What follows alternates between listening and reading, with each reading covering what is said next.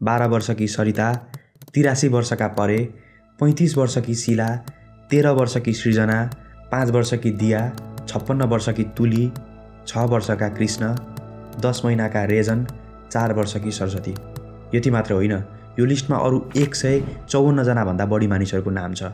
र यी नामहरू गत कार्तिक सत्र गतेको मध्यरात करिब बाह्र बजे जाजरकोटको रामी डाँडा केन्द्रबिन्दु बनाएर आएको सिक्स पोइन्ट फोर रेक्टर स्केलको भूकम्पमा परेर ज्यान गुमाउनेहरूको हो।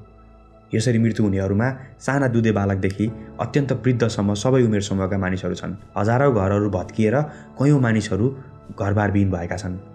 तपाईँलाई लाग्दो होला यो निकै दुःख लाग्दो खबर हो। तर योभन्दा बढी दुःखको कुरा के हो भने यी ज्यानहरू जोगाउन सकिने थियो। यी सबै क्षतिहरू कम गर्न पनि सकिने थियो। किनभने यो भूकम्प आउने नै छ भनेर पहिलेदेखि नै हामीलाई थाहा थियो। यसबाट जोगिन के गर्नुपर्छ भन्ने पनि थाहा थियो। तर सही समयमा सही तरिकाले आवश्यक काम नहुने हाम्रो देशमा थाहा हुँदाहुँदै पछिल्लो एक दशकभित्र मात्रै करिब दस हजार मानिसहरूले भूकम्पबाट ज्यान गुमाएका छन्। र यी बिच कति क्षति भयो भन्ने त कुरै नगरौँ। र हामीलाई अझै के पनि थाहा छ भने यो अन्तिम भूकम्प भने होइन। योभन्दा ठुलो भूकम्पले हामीलाई पर्खिरहेको छ। तर अहिलेसम्मको अवस्था हेर्दा न हामी जनता यसका लागि तयार छौँ न त हाम्रो सरकार नै गम्भीर छ। नमस्कार म सरोज कार्की र प्रोजेक्ट कुराको आजको भिडियोमा म नेपालमा बारम्बार गइरहने भूकम्प र यसले देखाएको हाम्रो वास्तविकताका विषयमा कुरा गर्नेछु।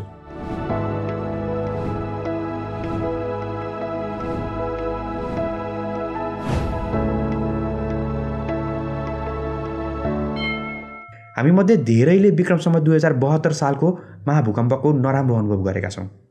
गोर्खाको बारपाक केन्द्रविद्युत बनाएर गएको सेभेन पोइन्ट एट रेक्टर स्केलको यो महाभूकम्प यति डरलाग्दो थियो कि यसमा परेर देशभर आठ हजारभन्दा धेरै मानिसहरूको मृत्यु भयो र बाइस हजारभन्दा धेरै मानिसहरू घाइते भए।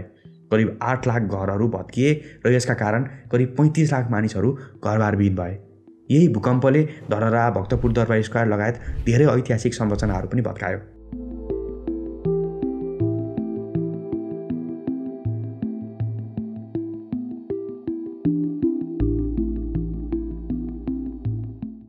भूकम्पको दृष्टिले नेपाल जोखिमपूर्ण देश हो। विक्रम सम्बत उन्नाइस सय नब्बे दुई हजार पचहत्तर र दुई हजार बहत्तर सालमा गएका ठुला भूकम्पको बारेमा धेरै कुराहरू हुने गरेको छ तर नेपालमा त्यसअघि पनि ठुला भूकम्पहरू गएको रेकर्ड भेटिने गरेको छ। जस्तो आजभन्दा करिब आठ सय वर्ष पहिले विक्रम सम्बत बाह्र सय अस्सीमा गएको भूकम्प नेपालमा रेकर्ड भएको सबैभन्दा पुरानो भूकम्पको रूपमा रहेको छ तर त्यस बेलाका क्षतिहरूको बारेमा भने स्पष्ट विवरण उपलब्ध छैन। अलिक विस्तृत रूपमा उल्लेख भएको भूकम्प भने विक्रम सम्मत तेह्र सय बाह्र सालमा काठमाडौँ उपत्यकामा गएको भूकम्प हो। त्यसै भूकम्पमा परेर तत्कालीन राजा अभय मल्लको ज्यान गएको थियो र काठमाडौँको झन्डै एक तिहाई जनसङ्ख्याको मृत्यु भएको थियो। यो कुरा गोपाल राजवंशावलीमा उल्लेख छ। र त्यसपछि इतिहासदेखि अहिलेसम्म कैयौँ भूकम्पहरू गएका छन् र ती सबैले बारम्बार नेपाली जनतालाई दुःख दिइरहेको छ। बहत्तर सालको भूकम्प आफैले अनुभव गर्नुभन्दा अगाडि हाम्रो पुस्ताले पैँतालिस सालको र नब्बे सालको भूकम्प एकदमै धेरै ठुलो थियो भनेर सुन्दै आएको थियो। विक्रम सन् उन्नाइस सय नब्बे सालको माघ दुई गतेको दिउँसो गएको एट पोइन्ट टू रेक्टर स्केलको भूकम्पमा परि करिब एघार हजार मानिसहरूको मृत्यु भएको थियो। त्यसमा परेर तत्कालीन राजा त्रिभुवनकी दुईवटी छोरी र तत्कालीन प्रधानमन्त्री युद्ध शमशेरकी एउटी छोरीको पनि मृत्यु भएको थियो। त्यस समय करिब दुई लाख घरहरू ध्वस्त भएको अनुमान गरिन्छ। यसै गरी पैँतालिस सालमा पूर्वी नेपालमा गएको सिक्स पोइन्ट नाइन रेक्टर स्केलको भूकम्पका कारण करिब सात सय एक्काइसजनाभन्दा धेरै मानिसहरूको मृत्यु भएको थियो र छ लाखभन्दा धेरै भवनहरू ध्वस्त भएको थियो। यी बिचमा पनि साना साना र धेरै भूकम्पहरू गएका छन्। भर्खरै जाजरकोटमा भूकम्प जानु अघि पनि पछिल्लो तिन महिनामा मात्र चारदेखि छ रेक्टर स्केल बिचका अडतिसवटा भूकम्प गएको थियो र त्यसपछि छ दिनभित्र नै चार सय तिरासी पटक जाजरकोट भूकम्पको पराकम्पन गइसकेको छ। इतिहासदेखि अहिलेसम्म हामीले भएका यी भूकम्पका पीडाहरूबाट हामीले यो कुरा त बुझिसक्यौँ होला कि नेपालमा भूकम्पको कति ठुलो जोखिम छ। तर किन नेपालमा बारम्बार यति धेरै ठुला भूकम्पहरू जान्छन्? खासमा नेपालमा बारम्बार गइरहने भूकम्पको रहस्य नेपालको जमिन सतहभन्दा मुनि लुकेको छ।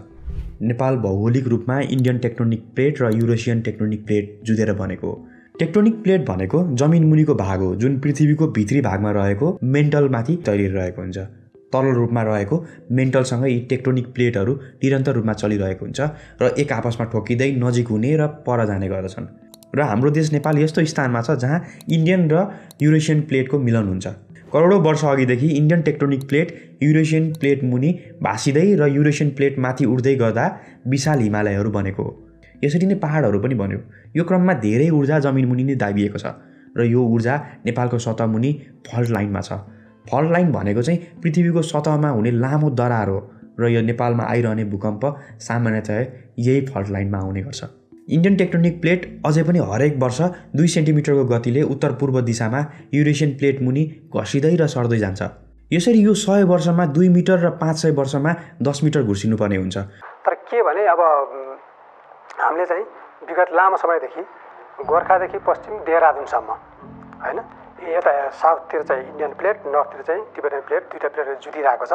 र विगत पाँच सय बिस वर्षदेखि पन्ध्र सय पाँचमा गएको त्यसभन्दा यता चाहिँ सन् पन्ध्र सय पाँचमा गएको त्योभन्दा यता चाहिँ भूकम्प चाहिँ ठुलो भूकम्प गएको छैन त्यसैले त्यो क्षेत्रमा भनेको गोर्खादेखि पश्चिम देहरादुनसम्म चाहिँ ठुलो भूकम्प जाने शक्ति चाहिँ सञ्चित भएर रहेको छ बहत्तर सालमा सेभेन पोइन्ट एट म्याग्निच्युडको भूकम्प आएको समयमा मध्य नेपालमा इन्डियन प्लेट करिब साढे तिन मिटर सरेको देखिएको थियो The whole city was displaced by three meters. यही अनुसार पश्चिम नेपालमा दस मिटर सर्यो भने करिब नौ म्याग्निच्युडको भूकम्प जान सक्ने अनुमान विज्ञहरू गर्दछन् यो भनेको अहिलेसम्म हामीले देख्दै नदेखेको र सोच्दै नसोचेको भूकम्प र क्षति हुनेछ। तर यो एकैपटक सर्छ भन्ने चाहिँ यकिन भन्न सकिँदैन र कहिले सर्छ त्यो पनि भन्न सकिँदैन। त्यो शक्ति सञ्चित हुने क्रममा चाहिँ अब कि त एउटा ठुलै भूकम्प गएर शक्ति सञ्चित हुनु पऱ्यो भनेको महाभूकम्प जाने शक्ति सञ्चित भएको छ। पाँच सय बिस वर्षदेखि नगएपछि अब महाभूकम्प भनेको आठको ठुलो भूकम्प जाने शक्ति सञ्चित भएको छ। अब त्यो भूकम्प चाहिँ आठको एउटा भूकम्पै गएर रिलिज हुने हो अथवा सातका चाहिँ केही भूकम्प अथवा चाहिँ छका चाहिँ हजारौँ भूकम्प गएर त्यो शक्ति रिलिज हुने हो त्यो चाहिँ अब हामीले यसै भन्न सकिँदैन। अब अब आज छको गयो अब ठुलो भूकम्प जाँदैन भन्न चाहिँ सकिँदैन। कुनै बेला ठुलो भूकम्प गएर पनि रिलिज हुनसक्छ अथवा यस्तै सानसाना भूकम्प गएर लामो समयसम्म चाहिँ गएर चाहिँ रिलिज हुनु पनि सक्छ। यति मात्र भन्न सकिन्छ कि पश्चिम नेपालमा एकदमै ठुलो भूकम्प जान सक्ने गरेको ऊर्जा जम्मा भएको छ र यसले विनाशकारी महाभूकम्प निम्त्याउन सक्छ। र यो जोखिम पश्चिम नेपालमा मात्र होइन पुरै नेपालभरि नै छ र विज्ञहरूको मान्ने हो भने दुई हजार बहत्तर सालको भूकम्प त चेतावनी मात्रै हो। नेपालले त्योभन्दा निकै ठुलो भूकम्प पर्खिरहेको छ। मैले भिडियोको सुरुवातमा नै हामीलाई जाजरकोट क्षेत्रमा भुइँचालो जाँदैछ भनेर पहिले नै थाहा थियो भनेर भनेको थिएँ। हो यसको पूर्वानुमान निकै अघिबाट भएको थियो। विक्रमसँग दुई हजार पचहत्तर सालमा नेपाली टाइम्समा ओम आस्था राईले लेखेको यो रिपोर्ट हेर्नुहोस्। यसमा त्यति बेला नै पश्चिम नेपाल ठुलो भूकम्पको जोखिममा रहेको बताउँदै बहत्तर सालको महाभूकम्पको पुनर्निर्माण भन्दा पनि पश्चिम नेपाललाई सम्भावित महाभूकम्पका लागि तयार पार्न बढी जरुरी भएको भनेर विभिन्न विज्ञहरूले सुझाव दिएका थिए। जाजरकोट भूकम्पको करिब दस महिना अघि पनि राष्ट्रिय भूकम्प अनुगमन तथा अनुसन्धान केन्द्रका भूकम्पविद भरत प्रसाद कोइरालाले पनि यसमा सचेत गराएका थिए। उनले पाँच सय वर्ष यता नेपालको गोर्खादेखि पश्चिम भारतको देहरादुनसम्मको पहाडी क्षेत्रमा ठुलो भूकम्प नगएको बताउँदै यसका लागि तिनै तहको सरकारले तयारी गर्नुपर्ने भन्दै सुझाव दिएका थिए। तर विज्ञहरूका सुझाव त्यसै रहे अनि पूर्वानुमान अनुसार नै भूकम्प गयो। सयौँ ज्यानहरू गए। उद्धार राहत र पुनस्थापनामा राज्यको ठुलो शक्ति र स्रोत लागिरहेको छ। नेताहरू पनि एकपछि अर्को गरी त्यहाँ पुगिरहेका छन्। तर यही तदारुकता पूर्व तयारीका लागि भने देखिएको थिएन र देखिँदैन पनि। किनभने विज्ञहरू अझै पनि यो सानो भूकम्प भएको र योभन्दा निकै ठुलो भूकम्प आउने कुरा गरिरहेका छन् र चेतावनी दिइरहेका छन्। यो सबै सञ्चित शक्ति निश्चित हुनलाई ठुलो महाभूकम्प आठको आठभन्दा माथि आठ वा त्योभन्दा माथिको भूमि जानुपर्छ भन्ने चाहिँ वैज्ञानिक मान्यता तर त्यो चेतावनी पनि हामी र हाम्रो सरकार दुवैले नसुने जस्तो गरिरहेका छौँ। अब तपाईँ भन्नुहोला भर्खर यति ठुलो भूकम्प पश्चिम नेपालमा गएको छ। मध्य नेपालमा पनि बहत्तर सालमा गएको छ। अब फेरि अर्को भूकम्प जान त अर्को पचास वा सय वर्ष लाग्छ होला नि। तर त्यस्तो होइन किनभने हामीले भूकम्पको प्रक्रिया अझै मजाले बुझिसकेका नै छैनौँ। र भूकम्प यति वर्षको अन्तरालमा जान्छ भनेर अनुमान गर्न कसैले पनि सक्दैन। अनि अर्को कुरा सामान्य रूपमा छ र सात रेक्टर स्केलको बिचमा एक अङ्कको मात्र फरक देखिएकाले हामीलाई भ्रम हुन्छ कि यो लगभग उस्तै शक्तिशाली होला। तर खासमा सात रेक्टर स्केलको भूकम्प छ रेक्टर स्केलको भूकम्पभन्दा एकतिस गुणा भन्दा बढी शक्तिशाली हुन्छ। यो कुरा अझ मजाले बुझ्नको लागि अमेरिकाको सरकारी निकाय युएसजिएसले एउटा क्यालकुलेटर बनाएको छ। त्यसमा नेपालमा गएको यी चारवटा भूकम्पलाई राखेर हेरौँ।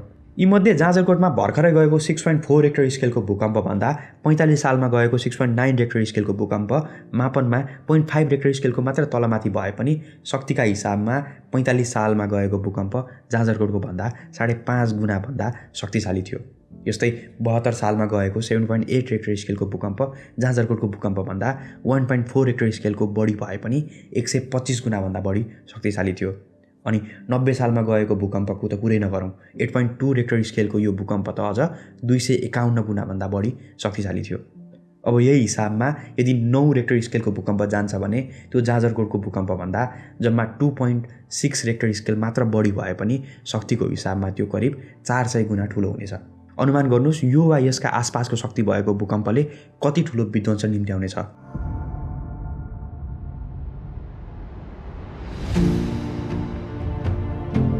यो रिसर्च पेपरमा नेपालको मध्य पश्चिम र पूर्व भागमा टेक्टोनिक प्लेटहरू कसरी सरिरहेको छन् र यसले भूकम्प निम्ताउन सक्ने सम्भावना कति छ भन्ने अध्ययन गरिएको छ। यो पेपर अनुसार मध्य र पश्चिम नेपालमा प्लेटहरू एक माथि खप्टिएर सर्दै गरेको र पूर्वी नेपालमा भने खप्टिनु सँगसँगै एक आपसमा स्लाइड पनि भइरहेको कुरा देखाउँछ। र यसबाट ती प्लेटहरूमा उत्पन्न हुने दरारहरूले गर्दा यस क्षेत्रमा बढी मात्रामा भूकम्प आउने गरेको देखिन्छ। यी अध्ययनबाट कुन क्षेत्रमा भूकम्प जान सक्छ र कति ठुलो जान सक्छ भन्ने पूर्वानुमान गर्न सकिन्छ। तर मैले अगाडि भने जस्तै यो कहिले जानेछ भन्ने मिति र समयको पूर्वानुमान गर्न भने सकिँदैन। यस्तो पूर्वानुमान गर्ने वा गर्न सक्ने न त कुनै मसिन बनेको छ न त प्रविधि नै। अनि विज्ञानले गर्न नसकेको यो कुरा आफूलाई भविष्य बताउन सक्ने भनी दाबी गर्नेहरूले गर्न सक्ने त कुरा नै भएन। बरु अर्को एउटा भनाइ भने एकदमै धेरै चर्चित छ। भूकम्प आउन लागेको कुरा कुकुर गाई घोडा जस्ता जनावर र चराहरूले थाहा पाउँछन् भन्ने। यो कुरामा चाहिँ कतिको सत्यता छ त? यति धेरै कुराहरू बुझिसकेपछि आउनुहोस् यो जनावर र चराले भूकम्प आउने कुरा थाहा पाउँछन् कि पाउँदैनन् भन्ने कुरा पनि बुझौँ। प्लेट्सहरूको मुभमेन्टबाट उत्पन्न हुने भूकम्प सुरु हुने पृथ्वीको भित्री भागको पोइन्टलाई हाइपोसेन्टर भनिन्छ र त्यो सतहमा आएपछिको पोइन्टलाई एपिसेन्टर अर्थात् केन्द्रबिन्दु भनिन्छ। जब भूकम्प जान्छ तब सेस्मिक वेभहरू पैदा हुन्छ। र यही सेस्मिक वेभको मापन गरेर कति म्याग्निट्युडको भूकम्प गएको भन्ने कुरा थाहा हुन्छ। सेस्मिक वेभ चार प्रकारका हुन्छन् र तीमध्ये पी वेभको गति सिक्स किलोमिटर पर सेकेन्ड र एस वेभको गति फोर किलोमिटर पर सेकेन्ड हुन्छ। यिनीहरू बिचको ग्यापको क्यालकुलेसन गरेर नै भूकम्पको उक्त ठाउँबाट एपिसेन्टरको दूरी थाहा हुन्छ। जस्तै सोलुखुम्बुमा रहेको भूकम्प नाप्ने सिस्मोमिटरले भूकम्पको पी वेभ र एस वेभ बिच पाँच सेकेन्ड समयको अन्तर रेकर्ड गर्यो भने यसमा फर्मुला राखी क्यालकुलेसन गर्दा भूकम्पको केन्द्रबिन्दु सोलुखुम्बुबाट करिब चालिस किलोमिटर टाढा रहेको अनुमान गर्न सकिन्छ।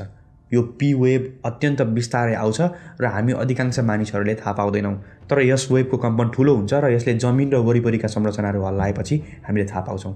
हामीले थाहा नपाउने र कम्पन अगाडि नै आउने पी वेभ कुकुर जस्ता जनावरहरूले थाहा पाउँछन् र कराउने रुने जस्ता अजीब हरकतहरू गर्छन् भन्ने कुराहरू कैयौँ मानिसहरूले विश्वास गर्छन्।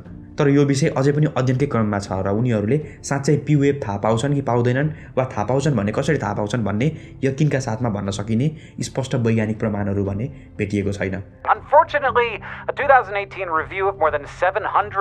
Unfortunately, a 2018 review of more than 700 of these reports found that most of them were just anecdotes or single observations. They couldn't really be backed up scientifically. र तिनले थाहा पाउँछन् भने पनि त्यो केही सेकेन्ड अघि मात्र हो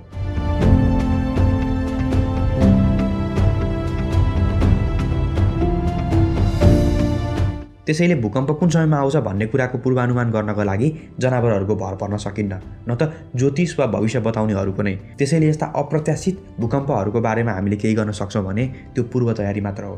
किनभने भूकम्पले स्वयं ज्यान लिने होइन। यसका कारण भत्कने संरचनाहरूले थिचेर वा घाइते बनाएर ज्यान लिने हो र क्षति पुर्याउने हो। जाजरकोट वा गोर्खाको भूकम्पमा पनि पिलर नभएको घरहरू बढी ध्वस्त भएका थिए। त्यसै गरी त्यहाँ ढुङ्गा र माटोबाट बनेका घरहरूमा च्यापिएर पनि धेरै मानिसहरूको मृत्यु भएको थियो। खासमा जाजरकोटमा गएको सिक्स पोइन्ट फोर रेक्टर स्केलको भूकम्प पनि ठुलो भूकम्प पनि होइन। त्यो मध्यम भूकम्प हो तर त्यो मध्यम भूकम्पले पनि ठुलो क्षति गर्नुको कारण हो भूकम्प प्रतिरोधी संरचना नहुनु र यस्तो किन भयो? त्यसको कारण हो बहत्तर सालको वा त्यस अघिका महाभूकम्पहरूले सिकाएको पाहाडबाट सिकेर हामीले सुरक्षात्मक घरहरू बनाएनौँ। यसमा न त हामी जनता सचेत छौँ न त सरकारी संयन्त्र नै सक्रिय छ। त्यसैले भूकम्पबाट जोगिनको लागि बनाइएका भवन मापदण्डहरू मिचेर नेपालमा यस्ता घरहरू बन्ने गरेका छन्। र खोला र खोल्सामाथि दलदल माटोमाथि जमिनको परीक्षण नगरी र पर्याप्त सुरक्षा नअप्नाई बिल्डिङहरू बनाइरहँदा हाम्रो देशमा साना तथा मध्यम भूकम्पले पनि ठुलो क्षति पुर्याउने गरेको छ। अर्को ठुलो भूकम्प आउनु अघि नै अब सचेत भएर अब नयाँ बनाउने घरहरूलाई मात्र बलियो बनाउने होइन। पुराना घरहरूको पनि जाँच गरेर तिनको विकल्प खोज्नुपर्ने हुन्छ। नत्र हामीलाई आश्रय दिइरहेको घरले नै हाम्रो र हाम्रो परिवारको ज्यान लिन सक्छ। यसै गरी भूकम्पमा परि घाइते भएपछि आवश्यक पर्ने अत्यावश्यक स्वास्थ्य उपचारहरू समयमा नपाउँदा पनि बढी मात्रामा मानवीय क्षति हुने गरेको छ। यसका लागि पनि विपद आउनु अगाडिबाट नै विपदमा काम गर्न सक्ने गरी स्वास्थ्य संरचनाहरूको निर्माण विपद व्यवस्थापनको तयारी र उद्धार राहत र पुनस्थापनाका लागि पूर्वाभ्यास र सचेतना पुर्याउन जरुरी हुन्छ। अनि अघि मैले पी वेभ र एस वेभको कुरा गरेको थिएँ। यही पी वेभको निरीक्षण गरेर जापान जस्तो धेरै भूकम्प जाने देशहरूमा सेक अलर्ट सिस्टम बनाइएको हुन्छ। यो सिस्टमले भूकम्प जानु अघि आउने पी वेभलाई डिटेक्ट गरी म्यासेज वा अन्य माध्यमबाट सबै जनतालाई सतर्क गराउँछ तर यसले पनि केही सेकेन्ड अघिको भूकम्प मात्र डिटेक्ट गर्न सक्छ जस्तो चालिस किलोमिटर पर केन्द्रबिन्दु बनाएर आएको भूकम्प चार सेकेन्ड अगाडि मात्र थाहा पाउन सकिन्छ। यो चार सेकेन्डमा धेरै केही गर्न सकिन्न तर भूकम्प प्रतिरोधी संरचना भएका ती देशहरूमा धेरै मानिसहरूलाई भूकम्पको समयमा अप्नाउनु पर्ने ड्रप कभर र होल्डन जस्ता विधि अप्नाउन समय दिएर भूकम्पबाट हुने हानिबाट बचाएको हुन्छ. Earthquake. Duck cover and hold on. Strong shaking expected.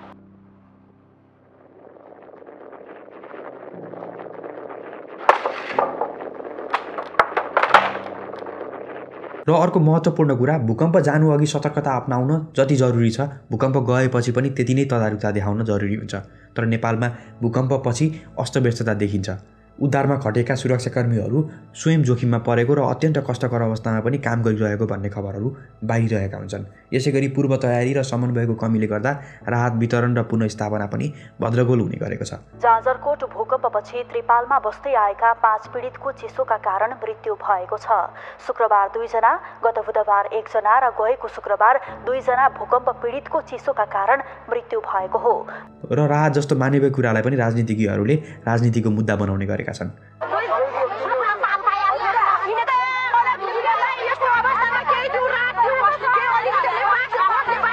यो सबैले गर्दा भूकम्पले दिएको भन्दा कैयौँ गुणा बढी पीडा अव्यवस्थापनले दिने गरेको छ। नेपालमा पनि नेसनल इमर्जेन्सी अपरेसन सेन्टर छ। सन् दुई हजार दसमा स्थापना भएको यो सेन्टरको वेबसाइटबाट यसले के के काम गरिरहेको छ भनेर हेर्न खोजेका थियौँ।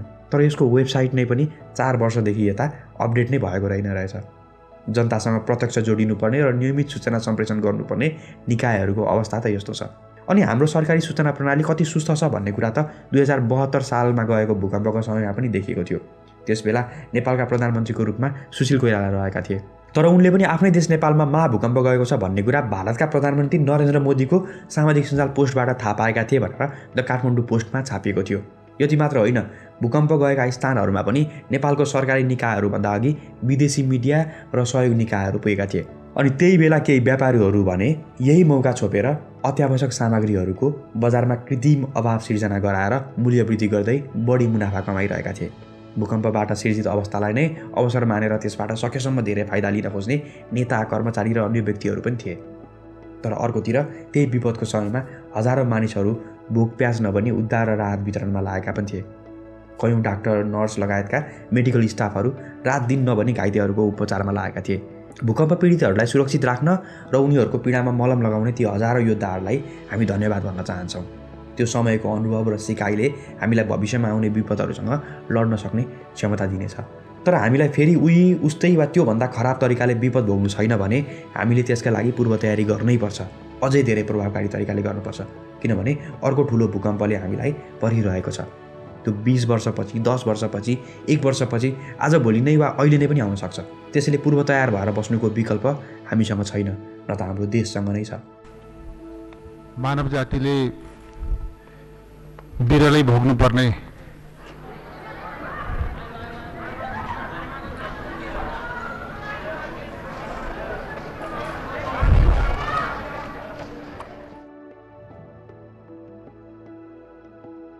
तपाईँलाई यो भिडियो कस्तो लाग्यो?